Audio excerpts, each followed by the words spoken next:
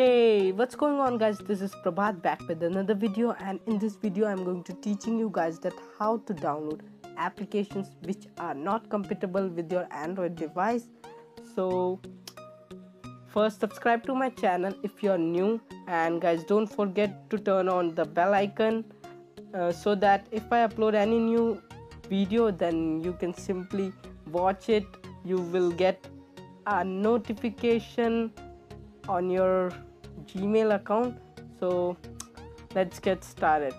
First what you have to do is first i will show one game which is not compatible with my android device. It is gangster new orleans. Yeah this one. So it is saying your device isn't compatible with this version. So how you can fix this? How you can download the applications or games which are not compatible with your android device. So what you have to do is it is very simple. What you have to do is you need to download the apk of that application or game from google uh, i mean from internet. Uh, you can simply just google it. Like for me download. It is gangster new not mod apk just apk make sure you download the latest version.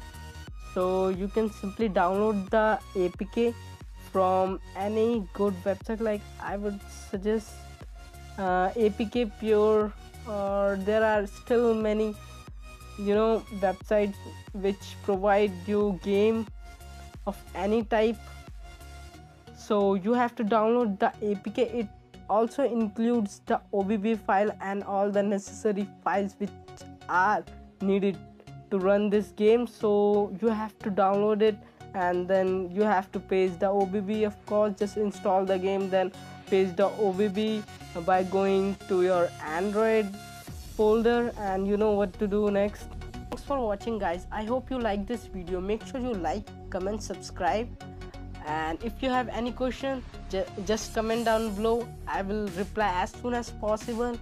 And my name is prabhat. I'm signing out